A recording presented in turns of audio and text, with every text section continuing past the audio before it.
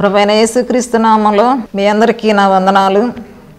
Television ద్వారా ఈ కార్యక్రమాన్ని వీక్షిస్తున్న మా ప్రేక్షకులందరికీ మరొకసారి ప్రభునామంలో వందనాలు తెలియజేస్తూ ఉన్నాం. గత మూడు వారాలుగా ప్రతి మంగళవారం ఉదయం ఏడు గంటలకు మరి ఛానల్ ద్వారా దేవుని వాక్యం ప్రకటించడం జరుగుతుందండి. ప్రారంభంలో గ్రంథాన్ని గుర్చినటువంటి పరిచయాన్ని చేసుకున్నాం గ్రంథాన్ని గుర్చిన ఉపోద్ఘాతం తర్వాత పరిశుద్ధ గ్రంథం యొక్క సంపూర్ణతను గురించి మాట్లాడుకున్నాం. తరువాత ఈ యొక్క పరిశుద్ధ గ్రంథము రెండు భాగాలు. ఈ భాగాల్లో ఉన్నటువంటి పుస్తకాల గురించి పుస్తకాల్లో వ్రాయబడిన చరిత్ర గురించి కానీ సృష్టి గురించి కానీ ప్రవక్తల గురించి కానీ మరి ఈ విషయాల్ని పాత నిబంధన ద్వారా తెలుసుకున్నాం. అలాగే క్రొత్త నిబంధనలో కూడా కొన్ని సంగతులు అందులో కూడా ఇరవై ఏడు అధ్యాయాల గ్రంథము క్రొత్త నిబంధన. అందు అందులో ప్రారంభంలో ఉన్న మత్తయి స్వార్త మార్కు లోక యోహాను స్వార్తల్లో యేసుక్రీస్తు జీవిత చరిత్ర ఉపస్తుల కార్యాల్లో సంఘ చరిత్ర రోమా పత్రిక నుండి మరి పత్రికలు పౌలు గారి ద్వారా సంఘాలకు తెలియచేయబడినటువంటి విధానాన్ని చివరిలో ప్రవచన గ్రంథం ఒకటి ఉందని మనం జ్ఞాపకం చేసుకున్నాం. అయితే మనం అప్పుడు చెప్పుకోవాలనుకున్నటువంటి అంశం ఏంటంటే ఈ రెండు గ్రంథాల సంగతుల్లో మూడు యుగాలు ఉన్నాయని జ్ఞాపకం చేసుకున్నాం. ఈ దినాన ఆ మూడు యుగాల గురించి మాట్లాడుకుందాం. పాత నిబంధన గ్రంథము దగ్గర నుండి ఆలోచించినట్లయితే మొట్టమొదట పితరుల యుగము అనే ఒక యుగం ఉంది. ఆ యుగములో దేవుడు పితరులతో ఎలా మాట్లాడినారో వివరంగా చూద్దాం. అలాగే రెండవ యుగము మోషే యుగము. మోషే యుగములో దేవుడు మోషే గారి ద్వారా ప్రజలకు ఏం తెలియచేసినాడో ఆ విషయాన్ని కూడా మనం చదువుదాం. మూడో యుగము క్రైస్తవ యుగము యేసుక్రీస్తు యుగం అన్నమాట. ఈ మూడు యుగాలలో దేవుడు తన ప్రజలతోటి ఏమి మాట్లాడుతూ ఉన్నారో పితరుల ద్వారా ప్రవక్తల ద్వారా కుమారుడైన యేసుక్రీస్తు ద్వారా మాట్లాడినటువంటి అంశాలను ఈ దినాన మనం తెలుసుకోవలసినదిగా నేను ఇష్టపడుతూ ఉన్నాను. ఈ అంశాలను మరి పరిశుద్ధ గ్రంథంలో నుండి మనం వివరంగా చదువుకొని పరిశీలిద్దాం. మరి మొదట పితరుల యుగములో పితరులు అనగా ఆదాము అబ్రహాము మరి ఇలాంటి మన పితరులు పితరుల ద్వారా దేవుడు ప్రతి కుటుంబంలో ఉన్న కుటుంబ పెద్దలతో దేవుడు మాట్లాడుతూ వచ్చాడు. అంటే ముఖాముఖిగా మోషేతో మాట్లాడుతూ ఉన్నాడు దేవుడు. ముఖాముఖిగా అబ్రహాముతో మాట్లాడుతూ ఉన్నాడు దేవుడు. ఇలా ప్రతి కుటుంబంలో ఉన్న కుటుంబ పెద్దలతోటి దేవుడు మాట్లాడినట్లుగా మనం చూస్తూ ఉన్నాం. అయితే ఈ యుగంలో మరి దేవుడు తనని ఎలా ఆరాధన చేయాలని కోరుకున్నాడు? ఆరాధన విషయంలో మరి ఆదాముతో దేవుడు మాట్లాడినటువంటి సందర్భాలు మనకు తెలుసు. ఆదాము యొక్క కుటుంబ జీవితాన్ని గురించి కూడా అది అందరికీ తెలిసినటువంటి విషయమే. ఆదాము అవ్వ వీళ్ళిద్దరితో దేవుడు ఏ విధంగా మాట్లాడుతూ ఉన్నాడో వాళ్ళు ఏమి తినాలో ఏమి తినకూడదు వాళ్ళకు మంచి చెడుల యొక్క తెలివి అంటే ఏమిటో ఇవన్నీ కూడా దేవుడు ముందుగానే వారికి తెలియచేసి మంచి ఫలాలు ఇచ్చేటువంటి తోటలో మంచి ఆహారాన్ని నియమించి వారి యొక్క జీవితాలు చాలా ప్రశాంతంగా సమాధానకరంగా జరిగిపోయేటువంటి విధానంని దేవుడు అనుగ్రహించాడు వారికి. అయితే వారు దేవుని మాట వినని దానిని బట్టి ఆ కుటుంబంలో మూడో వ్యక్తి సాతానుడు ప్రవేశించిన విధానాన్ని బట్టి దేవుడు చేయమన్న పనిని విడిచిపెట్టి అపవాది చేయమన్నటువంటి పనిని ఇష్టపడి వారు బుద్ధిపూర్వకంగా దేవుని నుండి తొలగిపోయారు. అలాగే దేవుడు అబ్రహాముతో కూడా మాట్లాడినాడు కానీ అబ్రహాము దేవుడు ఏదైతే తెలియచేశాడో దానిని నమ్మి అదే ప్రకారముగా దేవుడు ఏ స్థలానికైతే ఏ దేశానికైతే వెళ్ళమన్నాడో తనకున్న స్వజనాంగాన్ని విడిచిపెట్టి మరి నేను చూపించు దేశానికి నువ్వు వెళ్ళు అని అబ్రహాముతో దేవుడు చెప్పిన ప్రతి మాట కూడా తప్పనిసరిగా తూచా తప్పకుండా ఆయన విని దానిని నెరవేర్చడం ద్వారా అబ్రహాము దేవుని నమ్మెను అది అతనికి నీతిగా ఎంచబడిను అని నీతిమంతుడ లిస్టులోనికి చేర్చబడినాడు. ఆదామైతే అవిధేయతల లిస్టులోకి చేర్చబడినాడు. అవిధేయత వలన ఆనాటి నుండి ఈనాటికి మొదటి మానవుని ద్వారా మరి పాపము ప్రతివారిని కూడా ఏలుతూ ఉండేటువంటి స్థితిని పాపం ద్వారా వచ్చేటువంటి ఆ యొక్క మరణాన్ని మరి అనుభవించటం అనేది మనందరి జీవితాల్లో జరిగింది. అయినా దేవుడు అలా మనల్ని విడిచిపెట్టడం ఇష్టం లేక మనల్ని రక్షించటానికి దేవుని యొక్క అనాది కాల మరి ఉద్దేశాన్ని ఆయన సంకల్పాన్ని తెలియచేస్తూ అంచెలంచెలుగా అబ్రహాము ద్వారా మోషే ద్వారా తన ప్రవక్తల ద్వారా దేవుడు అనేక రకాల శాసనాలను ఆజ్ఞలను అనేక విషయాలను ప్రతి కుటుంబానికి ప్రతి వారికి అక్కడ ఉన్నటువంటి ఇస్రాయేలీల జనాంగం అంతటికి కూడా తెలియచేయటానికి దేవుడు ఇష్టపడి మన పితరులను ప్రవక్తలను వాడుకున్న తీరు మనకు కనపడతా ఉంది. అయితే ఈ యొక్క విధానంలో దేవుడు మరి ముఖాముఖిగా మాట్లాడినటువంటి విధానము నుండి కూడా ఒక అడుగు ముందుకొచ్చి మోషేను దేవుడు ఏర్పాటు చేసుకున్నాడు. ఈ ప్రజలకు ఒక నాయకుడు కావాలి ఒక ప్రవక్త కావాలి. ఇక డైరెక్ట్గా నేను ఇక వాళ్ళతో మాట్లాడటానికి ఇష్టపట్ల మార్గం తప్పిన తర్వాత ఆ దినాల్లో మోషేని ఎన్నుకున్నాడు దేవుడు.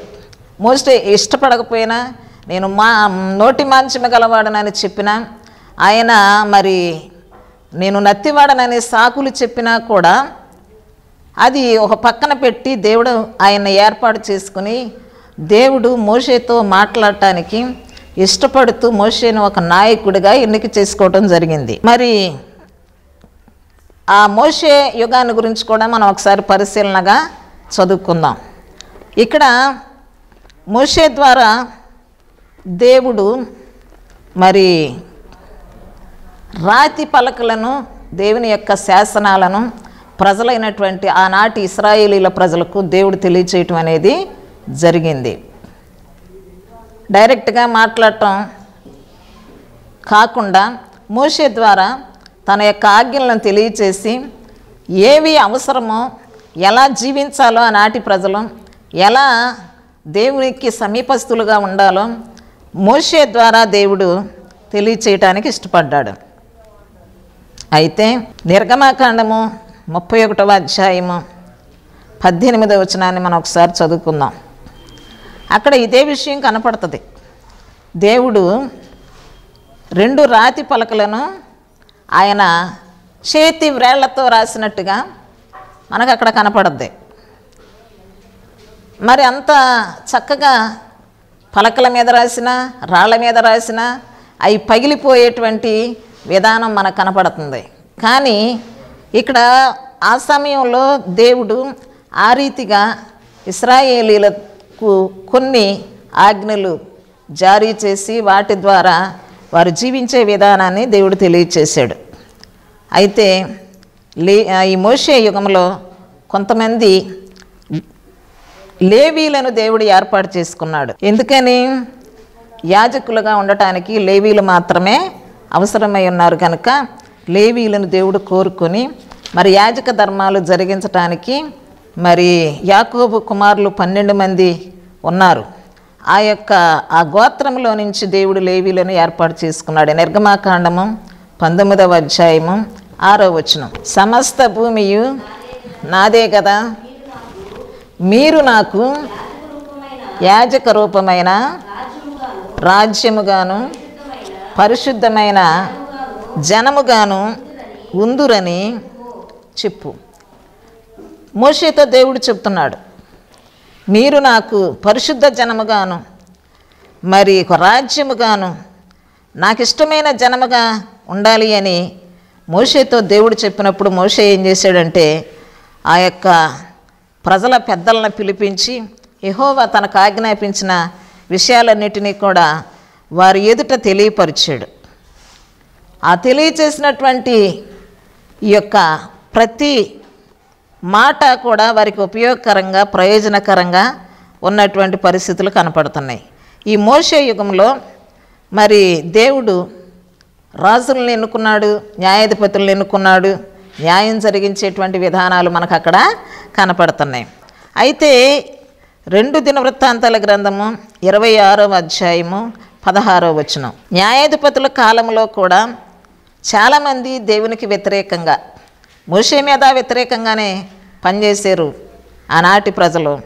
న్యాయాధిపతుల విషయంలో కూడా ఆ న్యాయాధిపతులు న్యా న్యాయం విచారించే విషయంలో సరైనటువంటి విధానం లేదు ప్రజల్లోనూ కూడా సరైనటువంటి విధానము లేదు. రాజులు రాజుల యొక్క పరిపాలన పరిపాలనలో కూడా అలాగే ఉన్నాయి. ఎవరైతే యథార్థమైన హృదయం కలిగి ఉన్నారో దేవుడు అలాంటి రాజులను బలపరచడం అనేది జరిగింది.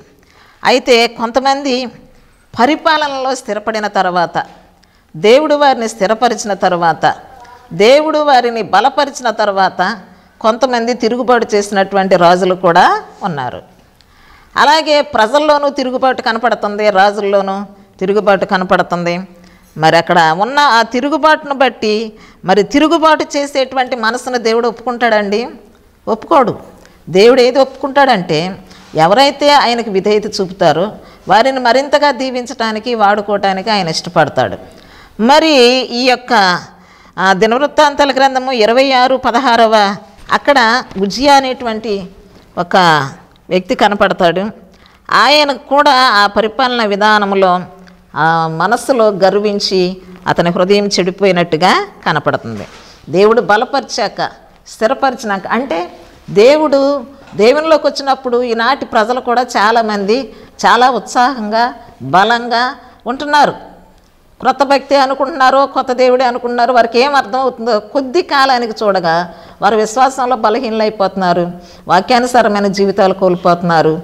హృదయంలో దే దేవుని మాట అంటే లెక్కలేనితనం గర్వం వెంటాడుతుంది. ఎప్పుడైతే ఈ గర్వం వెంటాడుతుందో ఎప్పుడైతే ఈ లెక్కలేనటువంటి పరిస్థితి కనపడుతుందో దేవుడు వారిని వాడుకోవటానికి ఇష్టపట్ల. అంటే నేను ఇంత క్రితం చెప్పినట్టుగా సంపూర్ణమైనటువంటి విధానం కనపట్ల ఇక్కడ. అసంపూర్ణమైనటువంటి పరిపాలనా విధానమే అసంపూర్ణమైన రక్షణే అసంపూర్ణమైనటువంటి మారు మనసే అసంపూర్ణమైనటువంటి విధానాలే ప్రజల్లో కనబడుతున్నాయి.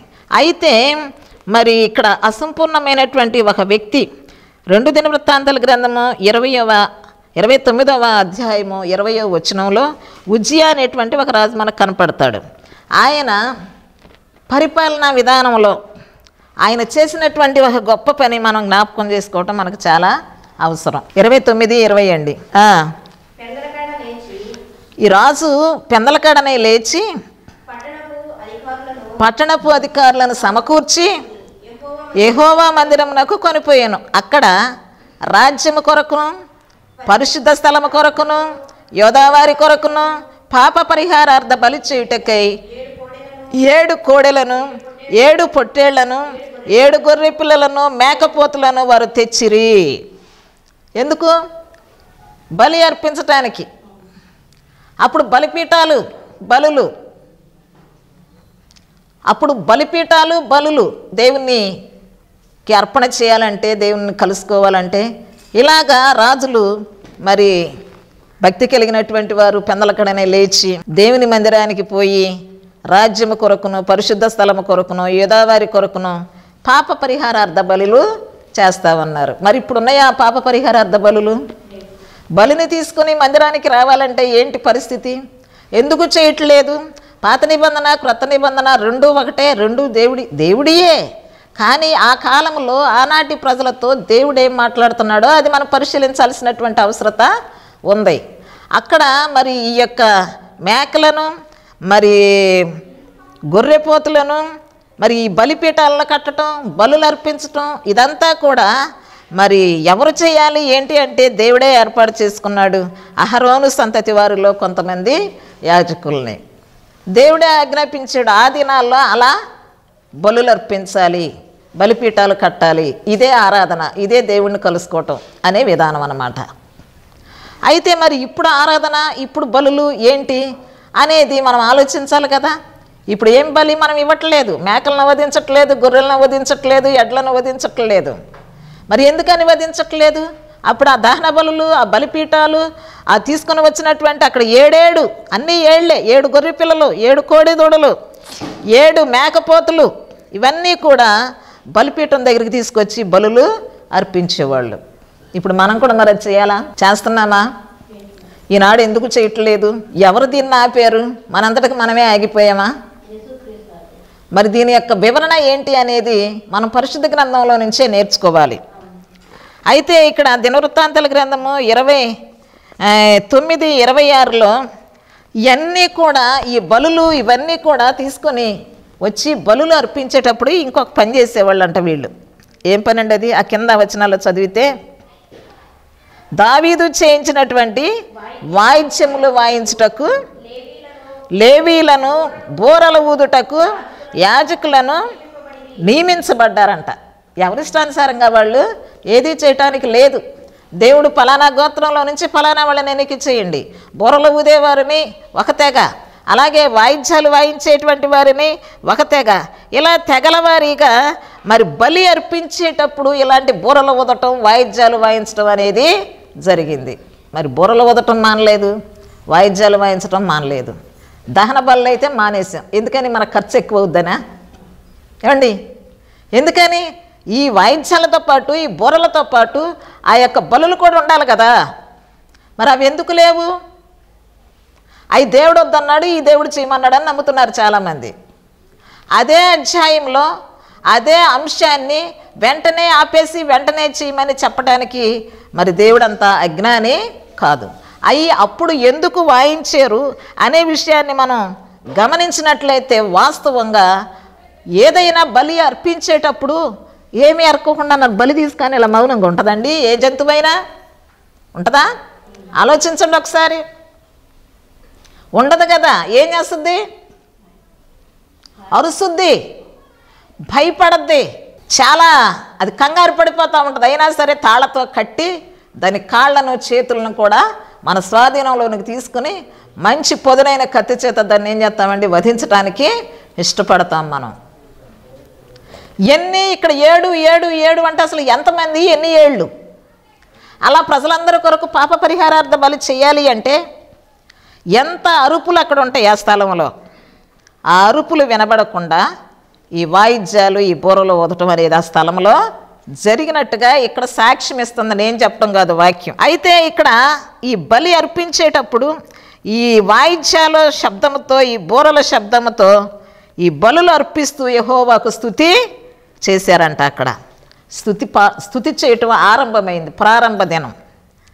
ఎలా ప్రారంభించారు? మేకలు వధించటం ద్వారా గొర్రెలను వధించటం ద్వారా బోరలు ఊదుట ద్వారా వాయిద్యములను వాయించటం ద్వారా ఈ వీటన్నిటి ఈ పశువుల యొక్క మరి కేకలు అరుపులు వినబడకుండా ఈ యొక్క వాయిద్యాలను ఈ బోరలను ఊదటం అనేది జరిగిందని అది అక్కడ ఖచ్చితంగా వ్రాయబడింది. బలిపీఠాలు ధూపవేదికలు పరిశుద్ధ స్థలాలు ఇవన్నీ కూడా మనకు కనపడుతున్న ఈ అధ్యాయంలో.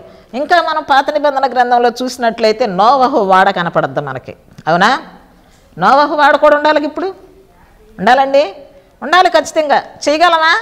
మరి అదెందుకు చేయరు? నోవహు వాడ. నోవహు వాడ మరి దేవుడు ఎలా కొలతలు ఇచ్చాడో దాని ప్రకారం చేయటం ప్రారంభించాడు. ఆ యొక్క నోవహు వాడ కూడా ఇప్పుడు మనం చేయటానికి అనుమతి లేదు. మన యొక్క పితరులు మన యొక్క పితరులు చేసిన పనిని మనం జ్ఞాపకం చేసుకుంటున్నాం వారి నీతిని మనం జ్ఞాపకం చేసుకుంటున్నాం వారి యొక్క జీవిత విధానాలని వారి ప్రవర్తనని ప్రార్థనా జీవితాన్ని మనం జ్ఞాపకం చేసుకుంటున్నాం. మరి ఇవన్నీ కూడా కొన్ని తగ్గించేసి కొన్ని అమలు జరుపుతూ చేసేటువంటి విధానం ఈనాటి దినాల్లో మనం చూస్తూ ఉన్నాం.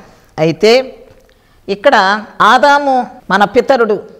ఆ దినము నుండి ధర్మశాస్త్రము మోషే కాలము వరకు మోషే నుండి యేసుక్రీస్తు శ్రమపడి సిలువేయబడి మరి సమాధి చేయబడి తిరిగి లేచిన దినము వరకు కూడా ధర్మశాస్త్రం అమల్లో ఉంది.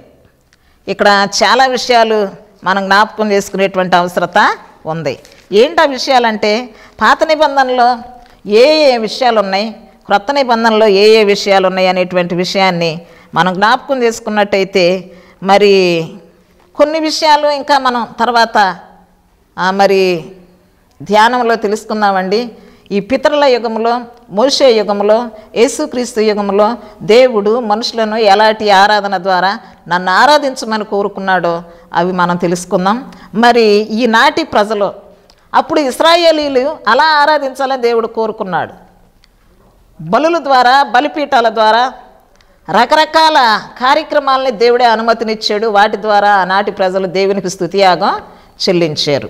ఇప్పుడు ఆత్మ సంబంధమైనటువంటి ఆరాధన క్రీస్తు యుగంలో మనం గమనిస్తున్నాం. ఈ ఆత్మ సంబంధమైన ఆరాధన ఏమిటో?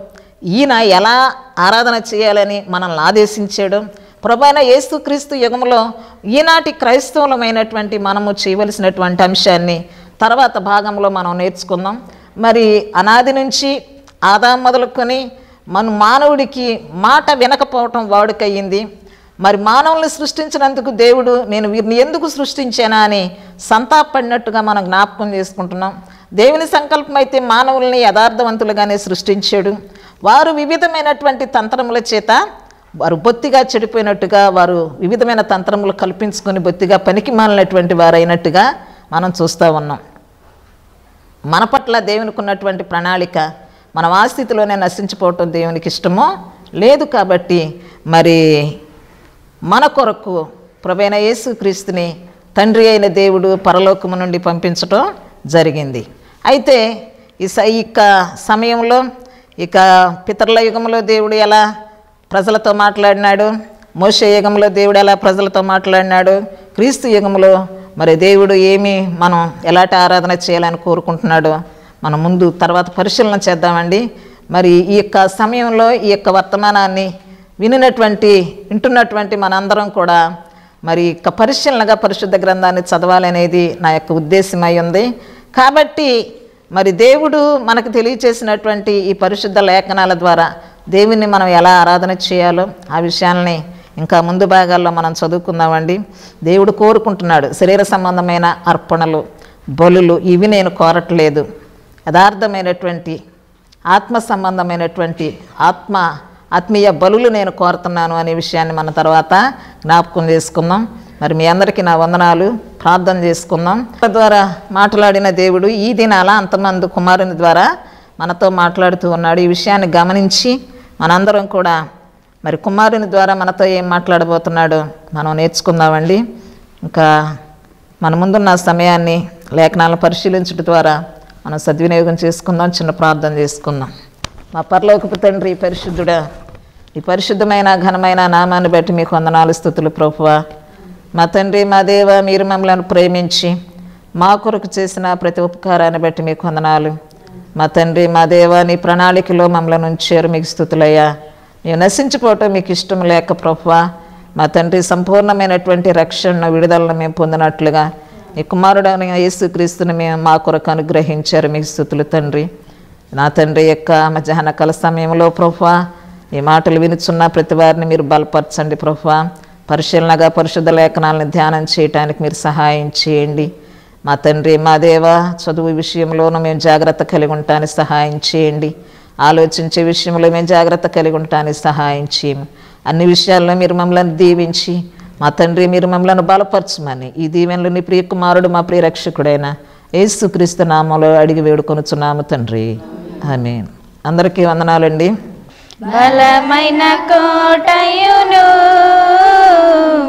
జీవాధిపతియు ఆయనే. జీవిత కాలమెల్లా స్థుతించేదను ఆయనే నా సంగీతము. స్థుతుల మధ్యలో నవాసం చేసే దూతలెల్లా పొగాడే దేవుడాయనే. స్థుతుల మధ్యలో నవాసం చేసే. దూతలెల్లా పొగాడే దేవుడాయనే. వేడుచుండు భక్తుల మొరను విని. వేడుచుండు భక్తుల మొరను విని. దిక్కులేని పిల్లలకు దేవుడాయనే దిక్కులేని పిల్లలకు దేవుడాయనే. ఆయనే నా సంగీతము. ఇద్దరు ముగ్గురు నా నామమున ఏకీభవించిన వారి మధ్యలోనా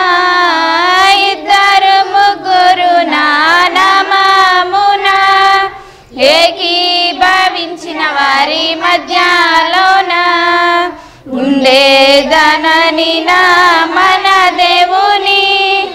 ఉండేదనని నా మన దేవుని. స్వరములు ఎత్తి నిత్య స్థుతించేదాము స్వరములు ఎత్తి నిత్య స్థుతించేదాము ఆయనే నా సంగీతము. బలమైన కోటయును జీవాధిపతియు ఆయనే. జీవిత కాలమెల్లా స్థుతించేదాము ఆయనే నా సంగీతము. సృష్టికర్త క్రీస్తు యేసు నామమున జీవిత కాలమెల్లా కీర్తించేదాము సృష్టికర్త క్రీస్తు యేసునామామున జీవిత కాలమెల్లా కీర్తించేదాము రాకడలో ప్రభులో నిత్య ముందుము రాకడలో ప్రభులో నిత్య ముందుము మ్రొక్కేదాము స్థుతించి పొగడేదాము. మ్రొక్కేదాము స్థుతించి పొగడేదాము. ఆయనే నా సంగీతము. బలమైన కోటయును జీవాధిపతియు ఆయనే. జీవిత కాలమెల్లా స్థుతించేదాము ఆయనే నా సంగీతము